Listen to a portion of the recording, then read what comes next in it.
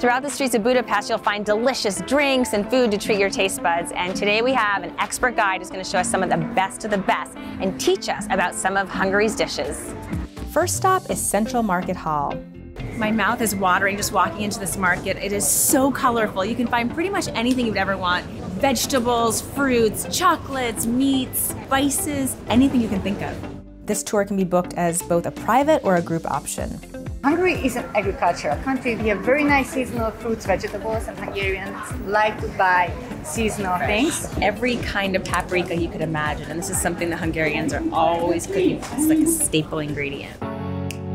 So this is langos, which is like a fried dough. I would probably eat this every day if I lived here.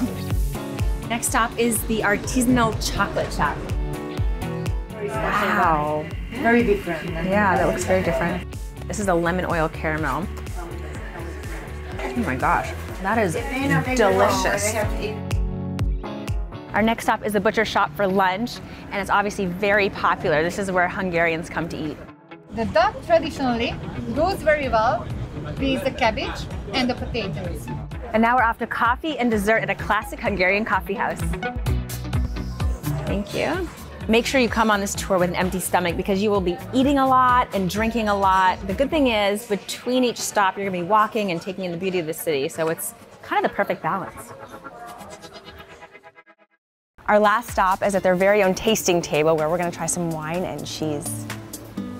Oh, and they're getting all ready for us. Looks so good. Okay, so you are about to taste three wine for the end of this tour. Light white, light red, and a dessert wine at the end.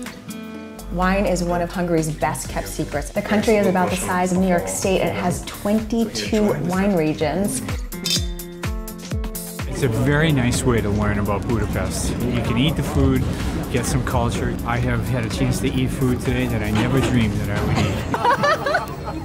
eat. We tried so many delicious food and drinks today. My favorite was definitely the chocolate. Our guide was super knowledgeable and really gave us a sense of Hungary's culinary history.